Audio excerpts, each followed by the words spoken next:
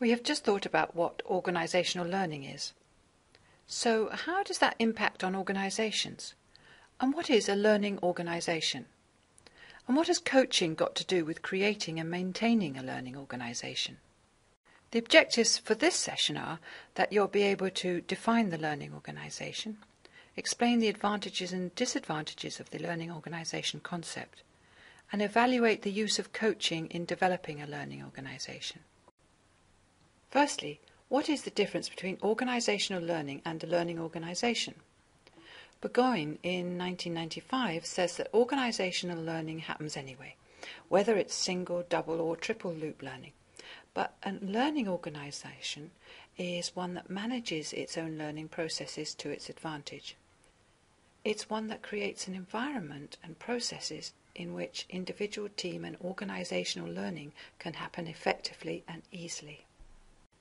Hughes, in propagating the learning organisation, said, The learning company or organisation is not a defined end state. It's the journey, not the destination. As Carl Rogers put it, we are all in a process of becoming. Hence, organisations that embrace learning commit to an ongoing process. It would be a contradiction in terms to say, we are now a learning organisation. We've got the plaque on the wall. What's our next project? This concept of a learning organisation being a journey rather than a destination is essential to the whole concept. Once an organisation sits back and says, We've got there, inevitably the learning has ceased, and paradoxically, it is no longer a learning organisation. Pedler, Burgoyne, and Boydell define a learning organisation as one which facilitates the learning of all its members and continuously transforms itself as a whole. It links the learning organisation concept firmly with continuous learning. Senge describes it as organisations where people continually expand their capacity to create the results they truly desire, when new and expansive patterns of thinking are nurtured, where collective aspiration is set free, and where people are continually learning how to learn together, thus incorporating the importance of triple loop learning. Mayo and Lank suggest that a learning organisation harnesses the full brain power, knowledge, and experience available to it in order to evolve continually for the benefit of its stakeholders. Cunningham, 1995, warns that the learning organisation has started to degenerate into a general term linked to the idea of more knowledge and competence sharing in organisations. That's not a bad thing, but it's far too limited. It doesn't accommodate Argyris's case for double and triple loop learning. That is an approach which gets people to re-examine and change fundamental beliefs and assumptions. So why would an organisation want to adopt learning organisation principles? Firstly, learning is essential to provide rapid, continuous change and continuous improvement in organisations. Then there is the competitive advantage of learning quicker than other organisations and, in particular, than competitors. This is especially important in providing greatest value for customers.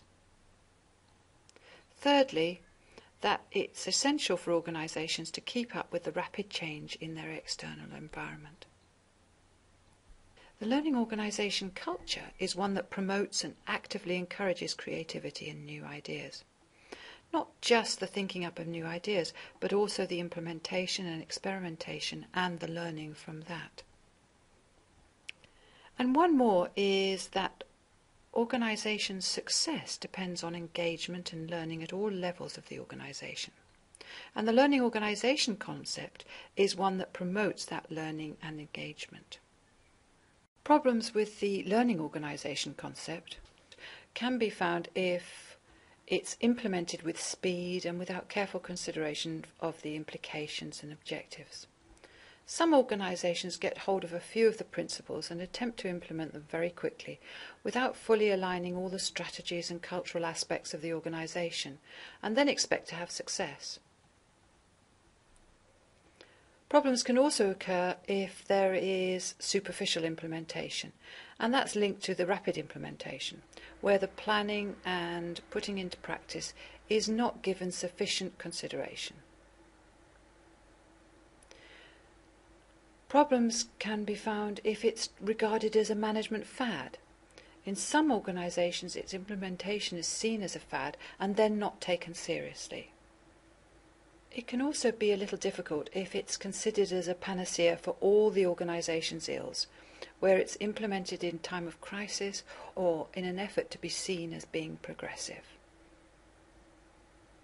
And then problems can arise if consideration is not given to triple loop learning. Some organisations see the learning organisation as a fancy name for a learning and development plan, and so think it is about implementing training courses, etc., and completely miss the importance of creating the conditions for triple loop learning. And finally, it can be seen as a quick fix, which can be achieved by sending all managers on a short training course. And it's thought that all that needs to happen is to send all the managers on a learning organisation course, and that will be it. This exercise is to help you think about the learning organisation and the value of coaching in that concept.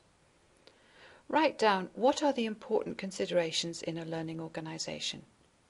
And two, evaluate the use of coaching as a strategic intervention to create a learning organisation.